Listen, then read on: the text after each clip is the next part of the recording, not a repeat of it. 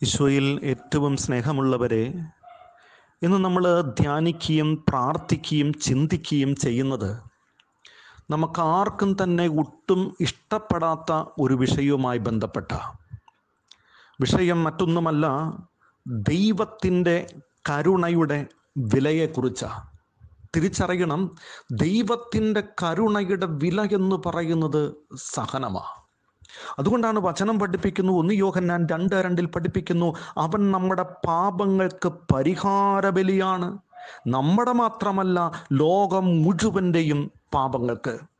അതുകൊണ്ടാണ് യേശയ പ്രവാചകന്റെ പുസ്തകം അൻപത്തിമൂന്ന് അഞ്ചിൽ ഇപ്രകാരം പഠിപ്പിക്കുന്നു നമ്മുടെ അതിക്രമങ്ങൾക്ക് വേണ്ടി അവൻ മുറിവേൽപ്പിക്കപ്പെട്ടു നമ്മുടെ അകൃത്യങ്ങൾക്ക് വേണ്ടി ക്ഷതമേൽപ്പിക്കപ്പെട്ടു അവന്റെ മേലുള്ള ശിക്ഷ നമുക്ക് രക്ഷ നൽകി അവന്റെ ക്ഷതങ്ങളാൽ നാം സൗഖ്യം പ്രാപിച്ചു. എന്ന് വെച്ചാൽ ഈശോ മിശിഹായുടെ പീഡാനുഭവവും കുരിശുമരണവും ഉത്ഥാനവും വഴിയ ദൈവത്തിന്റെ കരുണ ഓരോ മക്കളിലേക്കും സമർത്ഥമായിട്ട് ചൊരിയപ്പെട്ടുകൊണ്ടിരിക്കുക. അതുകൊണ്ടാണ് ഇപ്രകാരം പറയുന്നു സഹനമാണ് കേട്ടെ സഹനമാണ് ഒരാത്മാവിലേക്ക് ദൈവകരുണ ഒഴുകുവാനുള്ള കൈവഴിയെന്ന്. അതുകൊണ്ട് വിശുദ്ധ ഫൗസ്റ്റീനാണ് ഡയറിക്കുറിപ്പിൽ ആയിരത്തി എണ്ണൂറ്റി നാലിൽ ഇപ്രകാരം അവൾ അവളുടെ വേദന പങ്കുവെക്കുന്നുണ്ട്. അവൾ പറയുക അവളുടെ ജീവിതത്തിലുണ്ടായിരുന്ന ശാരീരിക രോഗങ്ങൾ അദൃശ്യമായ പഞ്ചശതങ്ങൾ ആത്മാവിന്റെ ഇരുണ്ട രാത്രികൾ കുറ്റപ്പെടുത്തലുകൾ തിരസ്കരണങ്ങൾ തെറ്റിദ്ധാരണകൾ ഇവയെല്ലാം അവൾ ലോകത്ത് നശിച്ചുകൊണ്ടിരിക്കുന്ന ആത്മാക്കളുടെ രക്ഷയ്ക്ക് വേണ്ടി ഈശോയുടെ പീഠാനുഭവത്തോട് ചേർന്ന് പിതാവിന്റെ കരങ്ങളിലേക്ക് സമർപ്പിച്ചു എന്ന്. എന്നിട്ട് കൂട്ടിച്ചേർക്കുക. ഇപ്രകാരം സമർപ്പിച്ചപ്പോൾ ദൈവത്തിന്റെ കരുണ ലോകത്തിലേക്ക് ആ മക്കളിലേക്ക് ഒഴുകുന്നത് ഞാൻ കണ്ടു എന്ന്. അതുകൊണ്ട് ഫൗസ്റ്റീന ഇപ്രകാരം പറയുന്നു മാലാഹമാർക്ക് ഏതെങ്കിലും തരത്തിൽ ഭൂമിയിലുള്ള ആത്മാക്കളെ കുറിച്ച് അസൂയപ്പെടുന്നുണ്ടെങ്കിൽ രണ്ട് കാര്യത്തിലാണ് അസൂയപ്പെടുന്നത് ഒന്ന് മനുഷ്യൻ അനുഭവിക്കുന്ന സഹനത്തെക്കുറിച്ചും. രണ്ട് ഒറ്റപ്പെടലിൽ കഴിയുന്നവരാണെങ്കിൽ ഒത്തിരി ബന്ധനാവസ്ഥയിൽ കഴിയുന്നവരാണെങ്കിൽ കുഞ്ഞെ നീ തിരിച്ചറിയ്. നീ ദൈവത്താൽ പ്രത്യേകം തെരഞ്ഞെടുക്കപ്പെട്ട് സ്നേഹിക്കപ്പെട്ട ഒരു വ്യക്തിയാണ് നീ ചെയ്യേണ്ട കാര്യമെന്താ? നിന്റെ ജീവിതത്തിൽ അനുദിന ജീവിതത്തിൽ നിനക്ക് കിട്ടുന്ന വേദനകൾ വിഷമങ്ങൾ രോഗങ്ങൾ സങ്കടങ്ങൾ ഒറ്റപ്പെടലുകൾ തകർച്ചകൾ മുഴുവനും ദൈവ തിരുമനസ്സിന് പൂർണമായിട്ട് കീഴ്പഴങ്ങിക്കൊണ്ട് ഈശോയുടെ പീഡാനുഭവത്തോട് ചേർന്ന് കുരിശുമരണത്തോട് ചേർന്ന് പിതാവിന്റെ കരങ്ങളിൽ ആത്മാക്കളുടെ രക്ഷയ്ക്ക് വേണ്ടി നീ ഒന്ന് കാഴ്ചവെച്ചാൽ മതി.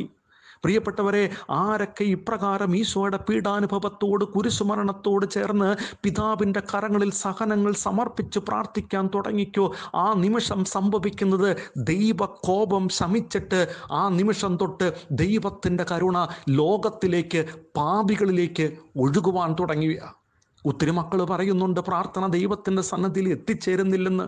ദൈവസന്നദ്ധിയിൽ പ്രാർത്ഥന എത്തിച്ചേരാനുള്ള ഏറ്റവും പ്രധാനപ്പെട്ട കാര്യമതാ പ്രിയപ്പെട്ടവരെ ഈശോയുമായിട്ട് ഗാഠബന്ധത്തിൽ ഐക്യപ്പെട്ടിട്ട് ആ വ്യക്തി ഈശോയുടെ സ്വരത്തോട് ചേർന്ന് തന്റെ സഹനങ്ങൾ സമർപ്പിച്ച് ഈശോയുടെ സ്വരത്തോട് ചേർന്ന് പിതാവിന്റെ കരങ്ങളിലേക്ക് പ്രാർത്ഥനകൾ സമർപ്പിച്ച് ആ പ്രാർത്ഥന ദൈവത്തിന് നിഷേധിക്കാൻ പറ്റില്ല.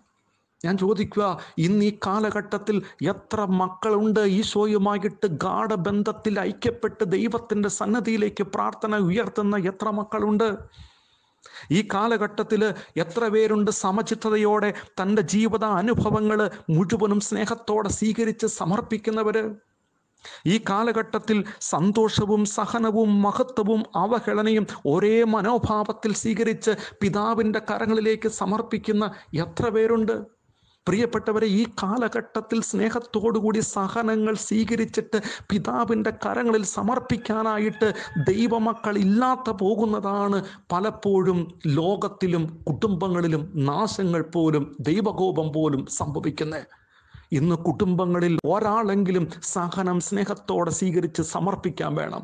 നമ്മുടെ ഇടവകളിൽ വേണം നമ്മുടെ ദേശത്ത് വേണം കുടുംബത്തിലും ദേശത്തും ഇടവകയിലും സഹനങ്ങൾ സ്നേഹത്തോടെ സ്വീകരിച്ച് പിതാവിന്റെ കരങ്ങളിൽ ഈശോയുടെ കുരിശു മരണത്തോടും പീഡാനുഭവത്തോടും ചേർത്ത് വെച്ച് പിതാവിന്റെ കരങ്ങളിൽ സമർപ്പിക്കാൻ തയ്യാറായാൽ ദൈവത്തിന്റെ കരുണ ലോകത്തിലേക്ക് കുടുംബത്തിലേക്ക് വ്യക്തികളിലേക്ക് ഒഴുകും പ്രിയപ്പെട്ടവരെ. അതുകൊണ്ട് നമ്മുടെ ജീവിതത്തിൽ നമുക്ക് കിട്ടുന്ന സഹനങ്ങൾ പെറുപെറുപ്പ് കൂടല്ലേ പഴിചാരല്ലേ വിധിക്കല്ലേ കുറ്റപ്പെടുത്തല്ലേ അത് ആത്മാക്കളുടെ രക്ഷയ്ക്ക് വേണ്ടി ഒന്ന് സമർപ്പിക്കാൻ സമർപ്പിക്കാൻ തയ്യാറാകുക അപ്രകാരം സമർപ്പിക്കുമ്പോൾ ലോകത്ത് അനേകം മാനസാന്തരങ്ങൾ സംഭവിക്കും. അതുകൊണ്ടാണ് വിശുദ്ധ ഫൗസ്റ്റീന ഡയറി കുറിപ്പിൽ ആയിരത്തി മുന്നൂറ്റി തൊണ്ണൂറ്റി ഏഴിൽ ഇപ്രകാരം പറയുകയാണ്. പാപികളുടെ മാനസാന്തരത്തിന് വേണ്ടി പ്രാർത്ഥിക്കുമ്പോഴെല്ലാം നീ എന്നെ ആശ്വസിപ്പിക്കുന്നു. പാപികളുടെ മാനസാന്തരത്തിനുള്ള പ്രാർത്ഥനയാണ് എനിക്ക് ഏറ്റവും പ്രീതികരമായ പ്രാർത്ഥന. കേട്ടെ? പാപികളുടെ മാനസാന്തരത്തിനായുള്ള പ്രാർത്ഥനയാണ് എനിക്ക് ഏറ്റവും പ്രീതികരമായ പ്രാർത്ഥന. പ്രിയപ്പെട്ടവരെ ജീവിതത്തിന്റെ സഹനം വേദനകൾ വിഷമങ്ങൾ ഈശോയുടെ കുരിശുമരണത്തോട് ചേർന്ന് പിതാവിന്റെ കരങ്ങളിൽ സമർപ്പിക്കണമേ. സഹനം പെറുപെറുത്ത് കളയല്ലേ? അതിന് തമ്പുരാൻ കർത്താവ് ഈ എട്ടാം ദിവസത്തെ നൊവേനയിലൂടെ നിന്നെ അനുഗ്രഹിക്കട്ടെ. ഇപ്പോഴും എപ്പോഴും എന്നേക്കും. ആമേ